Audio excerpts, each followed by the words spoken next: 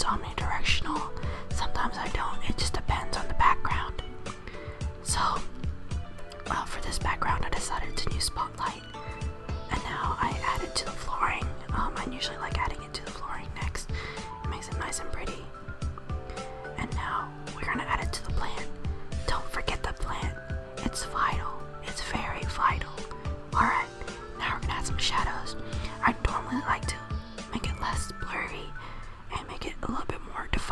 can see it better. And here I'm turning it to make it look nicer on the floor, I guess.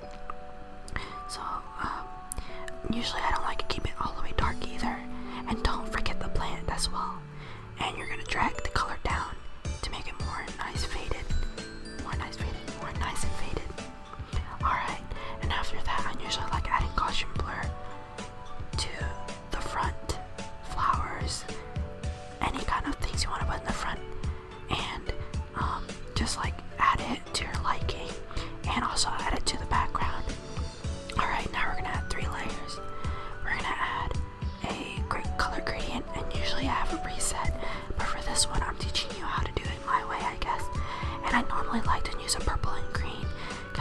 a nice, beautiful undertone.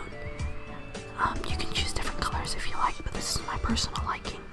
And usually, for daytime lighting, I have a preset as well,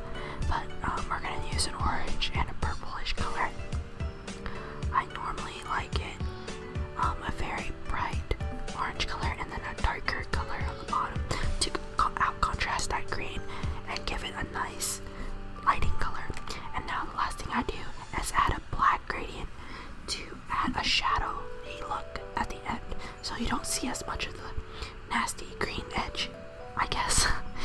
okay, after that, I usually render and then I add the lighting again. Usually a bump map can be omnidirectional. I like using omnidirectional for um, morning scenes because they're brighter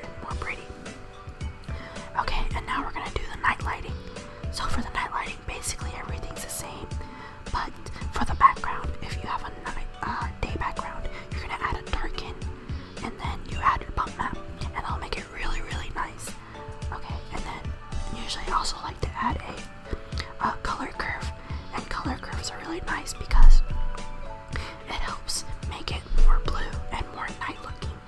After that, you're gonna add another bump map and a bump map on your character as well. I wanted to make it a little different because I knew it would be a little darker. And usually, you know, just save it as a preset and keep on adding it to your layers. And you can change it as you go if you don't like it. Don't forget your plant. The plant is precious. The plant is great. Alright. Don't forget what you learned last time. Add Gaussian blur. It look nice and blended. Alright, now um, make sure you add the Gaussian blur to the background as well. I'm sorry I hit the mic. Okay, and now we're gonna add a blue gradient.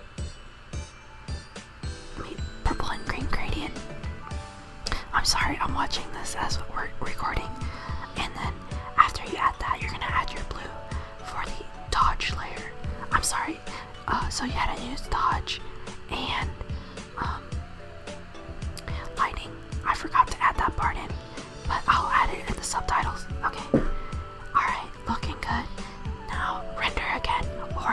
For this case, I took a screenshot, and now you have this blue lighting.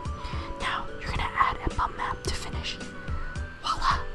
Blue and daytime lighting. Thank you so much for watching. I'm sorry for the mistakes.